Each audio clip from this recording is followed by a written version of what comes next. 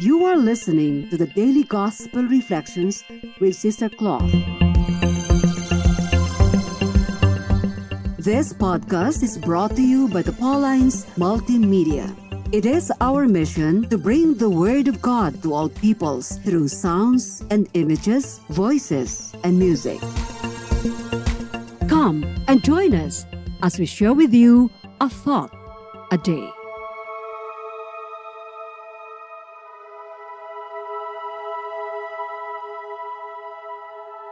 A reading from the Gospel according to St. Matthew, chapter 20, verses 17 to 28.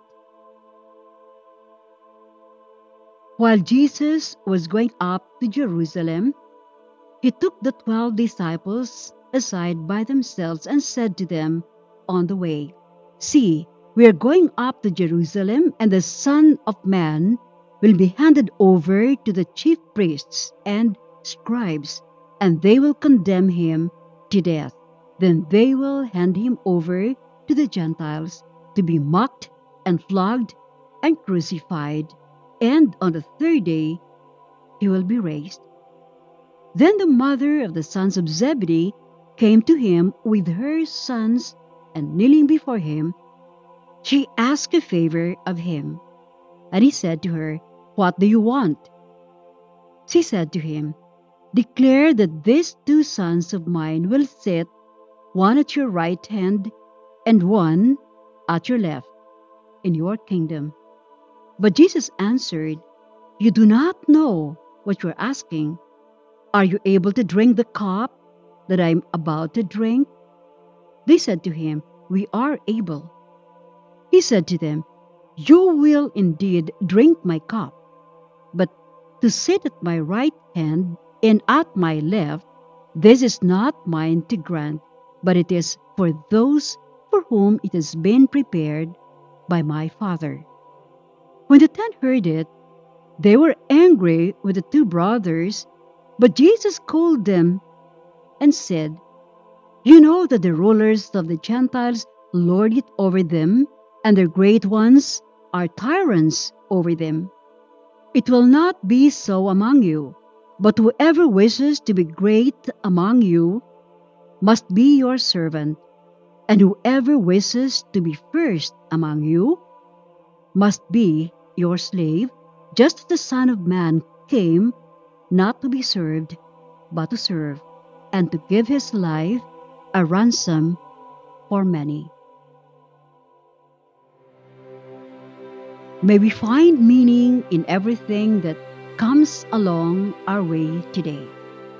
Again, we have already heard this story where the mother of James and John wanted her two sons to get a higher position in the kingdom, which she had no idea what that kingdom was all about.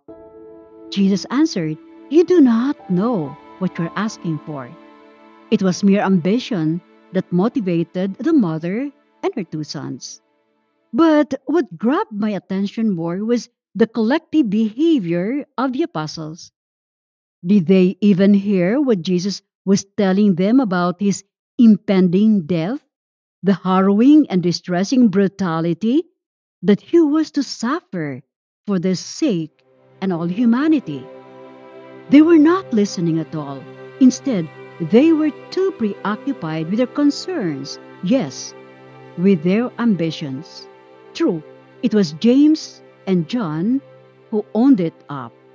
But the gospel says when the ten heard it, they were angry with the two brothers. Why were they angry? Dahil ba sa naisahan sila? What if Jesus considered their request? Then they would have been probably left with a lower position. Was that the reason for being angry? That being said, my thoughts shifted to their motives for following Jesus. Have Christ's disciples ever considered payoffs for their services with Jesus? That also leaves us with the same question for reflection. In volunteering my time or my talents for charitable, educational, or other worthwhile activities, especially in the church and in my community, do I give my services for free or do I resent it if I am not given any compensation? When I do some favors for people in need, even for my own family and relatives, do I do it out of love?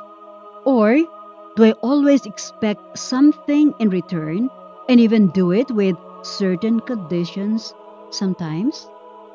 Remember what Charles Glassman said giving without expectation leads to receiving without limitation. Be with us again tomorrow as we share with you a thought a day. Meanwhile, you can follow us and listen to other Apple and Google podcasts on Spotify, produced by Paulines Multimedia. Have a good day.